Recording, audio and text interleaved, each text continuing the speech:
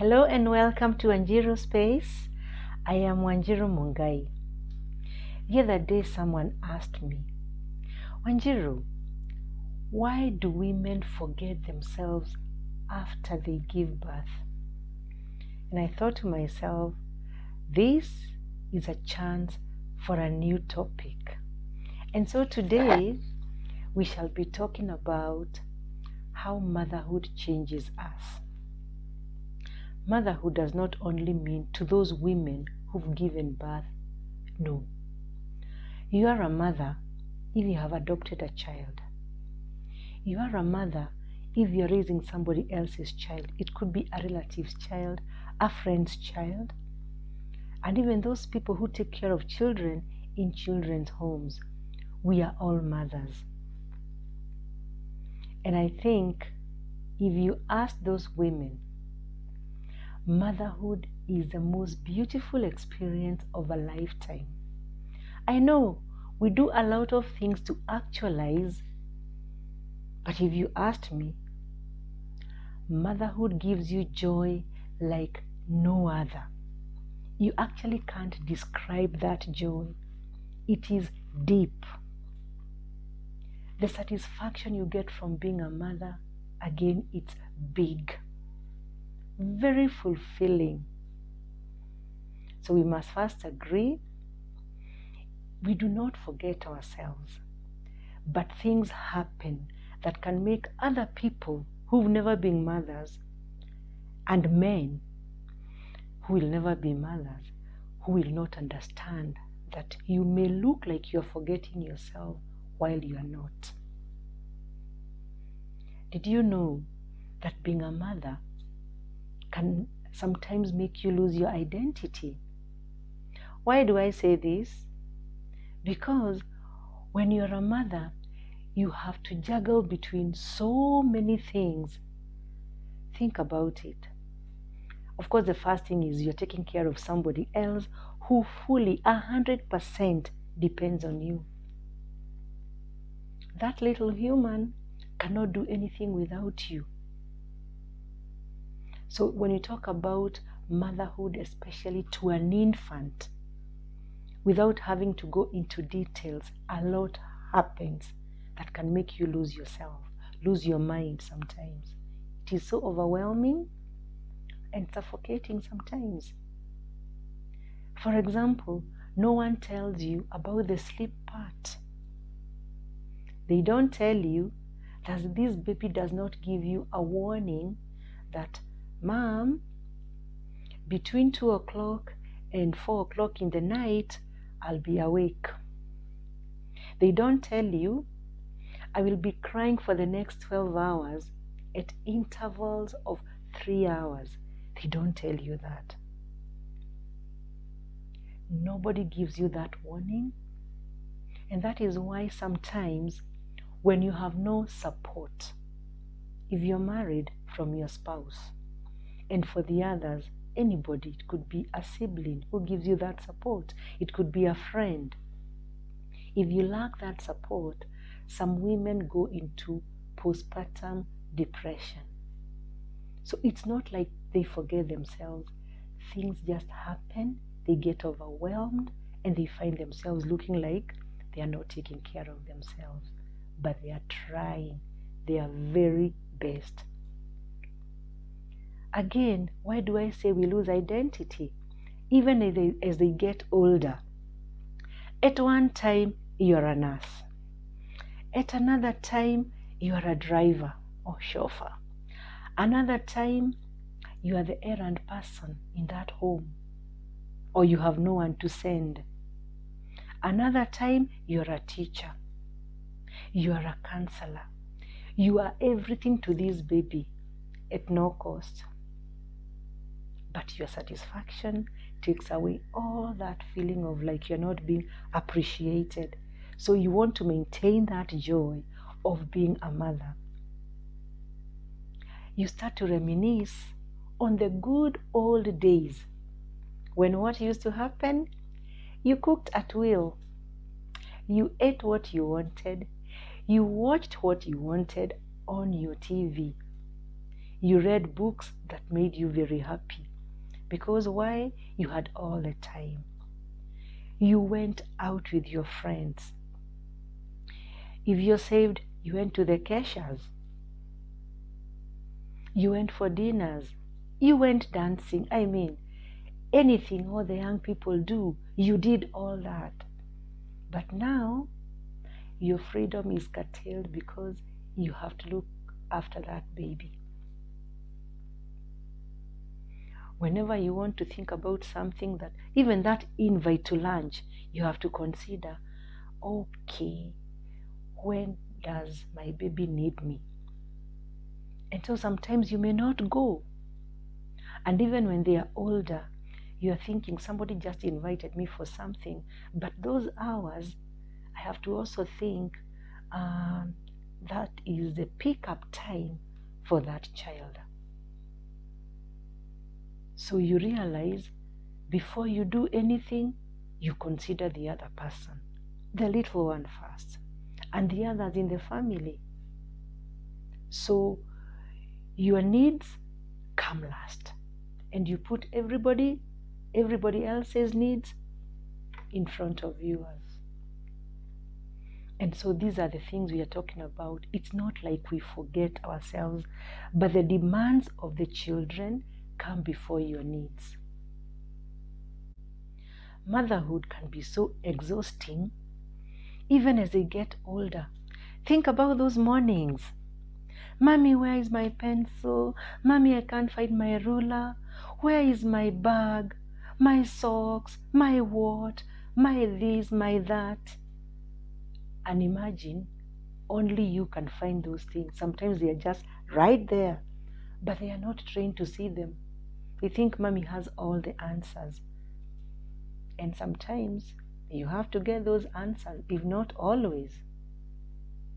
So those things will make you forget your look sometimes. So, yeah, that person had observed that sometimes we look different. We look like we are not taking care of ourselves. How we dress, our grooming changes completely sometimes for some. But you know what? You will not stop being a mother. But again, you cannot allow yourself to be defined by motherhood your whole life. And there are some things we can do to help ourselves, rediscover ourselves. Yes, we can start by setting some simple goals, you know, just to make ourselves a little happier. Not that we are not happy, motherhood, we said, is beautiful. But if there are things that you still remember you used to love a lot, things that you miss, write them down and start doing them all over again. We are not going to stop going to our jobs, whether we are in business or in employment, because we have become mothers. So we are going to do the two together. And we are going to excel at both. So that calls for a lot of commitment. It's hard work. It is not easy. You may want to just do things that you used to love and don't feel guilty about it. Do things that make you know, do things that make you very happy. Another one you can do for yourself schedule some alone time. Be selfish a little. That will enable you to re energize because remember, all these chores zap your energy completely. So you need to rejuvenate, and you can do that by taking that time by yourself. Even away from that little one, they will survive. Now, take care of your physical needs, as in how you look. If you feel you do not have time to leave the baby, maybe you have a baby who is very demanding. Some babies are criers and they don't want you, like we said earlier, and you cannot like leave them for some time and maybe this is between the first six months when you can't even feed them anything else, then you can organize with somebody from the salon to come home. They'll do your hair, they'll do your nails, they'll do a facial if you want it, and then you'll be well groomed. Because dressing, I mean, I know we've changed, and for those people who may not understand, pregnancy changes you because of the hormones. So you may be from a size 12 to a 16. And I heard that somebody wanted to leave their wife because of looking big all of a sudden. It happens. And maybe you are leaving that one, and the one you go to will be from 12 to 18. Hujajisaidia sana.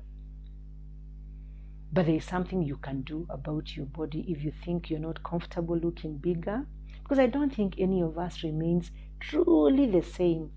People may not see it because they are not very close to you here, but everybody's body changes a little. Even for those that look like they just snapped back, mm-mm, there is some change. So dress your body according to the new shape or the new size. And let's not body shame young mothers, especially. They've done a good job of bringing a newborn, a human, to us. Appreciate them instead. Don't forget your commitments, like your appointments with your doctors. You may be going to a dental appointment, even your gynae, because it doesn't stop at giving birth. Keep those appointments.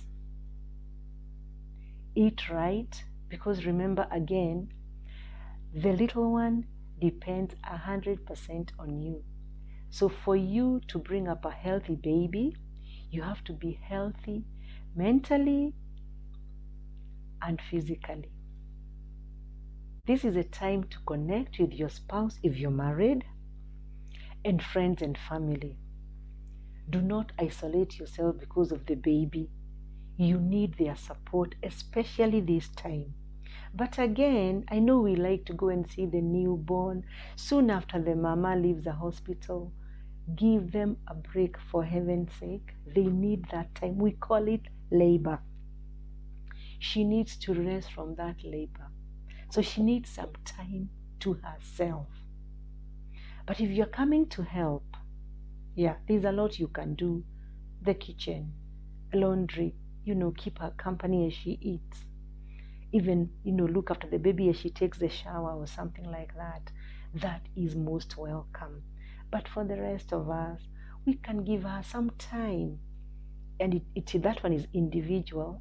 Some people think three weeks is too little or too short. Others think even three months is not enough. They need that break. If they do so, then just grant them their wish because they need to rest. Something very important again stop comparing yourself today and the past you. Because you know what? We've just talked about the sizes change. So you may be there thinking, huh, you should have seen me. I was at 12. Actually, I think I was at 10. And now look at me. Mm, mm, mm. That will give you some anxiety. You'll start thinking, I am no longer beautiful. What will that do to you? It will affect your confidence, even your self esteem. So don't go there. Don't live in the past. Let us live in the present. You brought up, you brought about somebody beautiful. That sacrifice that mothers make for others, another human. So you are so selfless for the sake of this person. What can beat that? It's wonderful. And I think we should pat our backs for it. So, really, motherhood is a beautiful time. We shall not forget ourselves.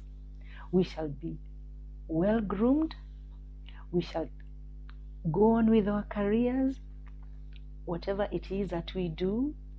And even for that mother who sometimes gives up a career to take care of the little ones, because we have women who do that, we should commend them for that sacrifice. Because, yeah, babies grow up, they get back to their jobs, business, employment, whatever. So if you have someone who supports you to do that, you're doing great in your motherhood. One thing that really, really helps a new mom, or even the, the ones with older children, is getting help, paid help. Some are lucky to just have relatives live with them, but even for that one who does not have somebody who is related to them to live with them, consider hiring somebody. It could be a day bag or a living. They can take off some of these burdens off your back so that you can be a more effective mother. Let us continue reminding ourselves that we are not super women. You are not a superwoman. You're just a mother doing the best and being the best you can ever be to your child. So, the mothers out there, I respect you and you're doing a great job. Thank you. I'll stop here and ask you to subscribe to Wanjiru Space, to hit the notification bell, and to leave a comment. I would love to hear the comment on this one from mothers themselves, from fathers, and even children who've been raised by these ladies. Thank you very much for watching this video. Until the next one, goodbye.